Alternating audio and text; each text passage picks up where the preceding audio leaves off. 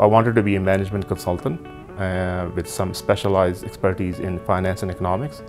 And this is what I'm doing exactly now, and it only, it, it only became possible once I finished my DBA.